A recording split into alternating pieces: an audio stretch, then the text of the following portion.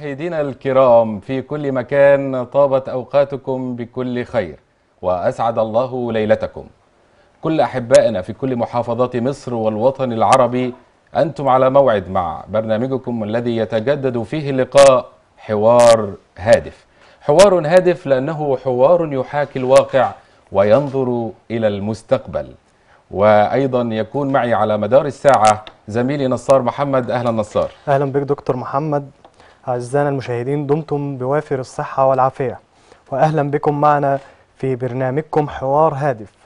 بنقدم لكم في أولى فقراتنا بعض الأخبار الخفي... بعض الأخبار الخفيفة. وبعد كده ننطلق لفقراتنا مع ضيوفنا الكرام في حوار هادف.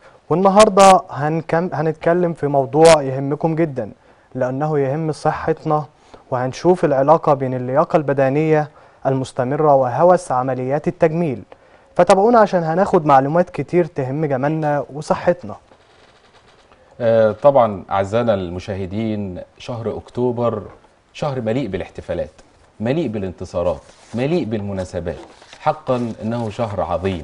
يكفينا فيه إنه هو فيه يوم النصر والكرامة يوم العزة يوم نصر أكتوبر 6 أكتوبر اللي هيوافق يوم الثلاثاء القادم إن شاء الله 16 2020 على اسم مصر التاريخ يقدر يقول ما يشاء أنا مصر عندي أحب وأجمل الأشياء. بحبها وهي ملك الأرض شرق وغرب. من 1973 ميلادية مصر في حالة عبور خاص عبور للأزمات والتحديات. في هذه الذكرى التي يحتفل بها المصريون في هذا الشهر هي الذكرى السابعة والأربعين. السادس من أكتوبر يحتفل المصريون بنصر العزة والكرامة. نصر أكتوبر المجيد الذي وصفها المؤرخون أنها الحرب الأكبر منذ الحرب العالمية الثانية. لقدرتها على قلب موازين القوى وإبهار العالم كله بعد أن جمع خبراءه العسكريون استحالة العبور.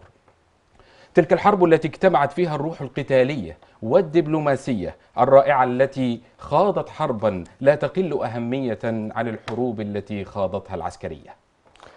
حيث في نصر العزة والكرامة نجحت مصر في استرداد آخر شبر من الأراضي المصرية ورفرف العلم المصري عليها لنسبة عدة نجاحات. وقف التاريخ معظما أمامها وتحقق إنجازات شارك فيها الجميع. عسكريون ومدنيون ووصلت لجميع طبقات الشعب المصري كافة واكتسبنا واكتسبنا من نصر أكتوبر حاجات كتير زي ما قال زميلي نصار اللي كان من أبرزها. الشعب وقوته المسلحة إيد واحدة. تحطيم أسطورة إسرائيل استرداد روح العزة. المفاوضات هي الحل التضامن العربي تعمير أرض الفيروز وعودة الملاحة وتحريك قضايا المنطقة. مشاهدينا الكرام شهر عشرة زي ما قلنا مليء جدا بالاحتفالات. في يوم 5 10 2020 يوم الاثنين هيوافق عيد المعلم.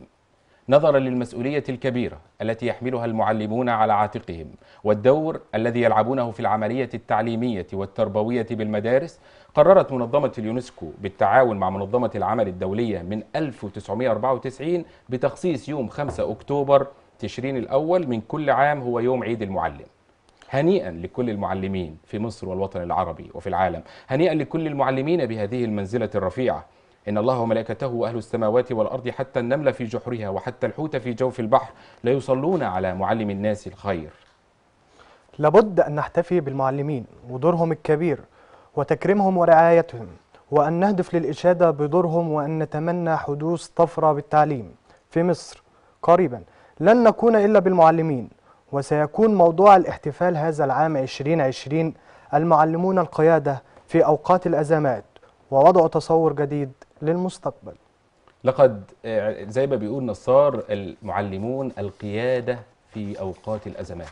لما جت جائحة كورونا كوفيد 19 لتزيد حجم الصعوبات التي تعاني منها النظم التعليمية المجهدة أصلا في العالم وليست هناك مبالغة في القول إن العالم يقف عند مفترق طرق. علينا أن نعمل الآن وأكثر من أي وقت مضى مع المعلمين لحماية الحق في التعليم وتطبيقه في ظل الظروف الجديدة التي فرضتها هذه الجائحة كورونا. وأن الدور القيادي الذي اطلع به المعلمون عند التصدي للأزمة لم يكن مناسبا فحسب وإنما كان حاسما أيضا من ناحية الإسهامات التي قدمها المعلمون. زي ما شفنا المعلمين في فتح المدارس وضمان سد الثغرات التعليمية والتعليم عن بعد والأونلاين ودعم الفئات الضعيفة زي ما شفنا كل المعلمين والمدرسين ووطنيتهم في آه، مراقبة امتحانات الثانوية العامة والدبلومات وامتحانات السنوات الأخيرة من الجامعات. بحق هؤلاء المعلمون يستاهلوا التكريم والتقدير وكل الوفاء لهم وكل الاحترام لهم. بداية العام الدراسي الجديد بسبب هذه الأزمة اللي اتأخر وهيوافق إن شاء الله بدايته 17 أكتوبر 2020 كل عام وكل الآباء وكل أولياء الأمور والطلبة بألف خير وإن يكون يا رب عام آه، سعيد. في 2 أكتوبر من كل عام تحتفل الأمم المتحدة بيوم لا للعنف وهذا اليوم يوافق يومنا هذا. طيب. ودائما لا للعنف لا للعنف ضد الشعوب لا للعنف ضد الأطفال لا للعنف ضد المرأة لا للعنف الأسري. في حوارنا دائما لا للعنف في الأقوال والأفعال. نعم للسلام نعم للتسامح. نعم للتسامح ولا للعنف نقولها ضد الشعوب ضد الطفل ضد المرأة من حوار هادف لأنه هذا اليوم لا للعنف اليوم العالمي الذي تحتفل به الأمم المتحدة أيضا يوافق اليوم الجمعة 2 أكتوبر. ونعود أيضا إلى ال- ال- المعلم. قم للمعلم وفيه التبجيل. كاد المعلم أن يكون رسولا. رسالة الخير في كل مكان. المعلمون المعلمون المعلمون. معي الآن على الهاتف مداخلة هاتفية ومعي الأستاذ معي الآن مداخلة هاتفية. معي الآن مداخلة هاتفية الأستاذ أحمد القزاز مدير المدرسة الرسمية المتميزة للغات بأبو حمص. أهلا وبك أستاذ أحمد وأنت مدير للمدرسة ومعلم. أهلا بك. أهلا بك يا دكتور محمد ومساء الخير أستاذ عليك أحمد. وعلى جميع المشاهدين وعلى أستاذ نصار وكل سنه معنا يا طيبين شباب أستاذ أحمد. يا فندم أهلا وسهلا أستاذ أحمد الأزاز مدير المدرسة الرسمية المتميزة للغات في أبو حمص. أهلا بك في حوار هادف وأنت تسمعنا الآن والمعلمون القيادة في وقت الأزمات. أهلا أهلا يا دكتور بيه. أهلا, وسهلا يا أهلا يا أستاذ أهلاً وسهلاً. كل سنه طيبين. حضرتك طيب. اعياد انتصار أكتوبر.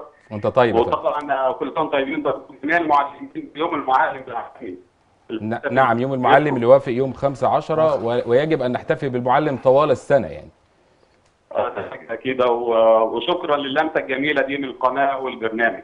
يا أهلا وسهلا بك أستاذ. أستاذ أحمد. أهلا أهلا وسهلا بحضرتك. تقول إيه في عيد المعلم وشعار المعلم الآن وال و و وفي وسط جائحة كورونا وأن ال ال القيادة وقت الأزمات؟ طبعا والله إيه هو شعار جميل جدا. شعار إن المعلمون هم القيادة في نعم. وقت الأزمات. نعم. وإعادة النظر في المستقبل ده شعار جميل جدا جه في وقته صراحة لأن آه، جائحة كورونا دي فرضت علينا إحنا كمعلمين بعض القيود نعم. على وجه التعليم التقليدية طبعا. فلازم نبص للمستقبل فاتجهنا إلى التعليم عن بعد واستخدام القنوات التعليمية و آه، آه، ال- الوسائل النت والشبكات النت وسياده الوزير طبعا عمل منصات تعليمية. وإن شاء الله هتكون فتحة خير ونظام تعليم جديد إن شاء الله. يعني هل نقدر أستاذ أحمد وأنت موجود معانا فرصة إن. الآن التواصل عن بعد والتعليم عن طريق الأونلاين ده هيكون تغيير مسار للتعليم للأفضل آه أنت شايف إيه يعني هل فعلا الأزمة هي اللي بتحتم علينا كده ولا ده أفضل والطالب هيروح للأنشطة فقط يعني أنت شايف الموضوع يروح فين والله دكتور هو طبعا آه، استخدام المنصات التعليمية حاجة جميلة جدا. تمام. بس مع وجود المعلم ده رأيي الشخصي. لازم وجود المعلم برضه لأن المعلم هو اللي بيتابع. ولازم وجها لوجه مع المعلم إلى جانب التعلم عن بعد. اذا المعلم موجود صح؟ في المدرسة في التعليم عن بعد. لا غنى عن المعلم طبعا. تمام تمام. آه، آه، حضرتك بداية العام الدراسي 17 17 أكتوبر أيضا في هذا الشهر وتأخر العام الدراسي بسبب هذه الجائحة وهذه الأزمة. أيوه طبعا. آه، إيه استعدادات المدرسة عندكم واستعدادات الإدارة التعليمية و... و... وإدارة التعليم في البحيرة و- وفي أبو حمص وفي آه، المدرسة طبعا في استعدادات قصوى طبعا. اولا من الوزارة إن إحنا حددنا أيام للطلبة في يومين وفي يوم ثلاثة على حسب المدارس. وطبعا في قياس حرارة لكل داخلين المدرسة من طلاب وأولياء أمور ومعلمين ممتاز. آه، بعد كده طبعا التزام بلبس الكمامات نعم. استخدام المعقمات آه، استخدام الديتول استخدام المنظفات. هيبقى في طبعاً بعد حاجة أساسية. يا أستاذ أحمد. أيوه يا فندم. هيبقى في بعد في في الديسك المكان اللي هيقعد عليه آه ولا؟ طبعا. يعني في تباعد، هيبقى في تباعد بين الفصول. هيبقى في تباعد بين الطلبة؟ في الفصل 20 طالب.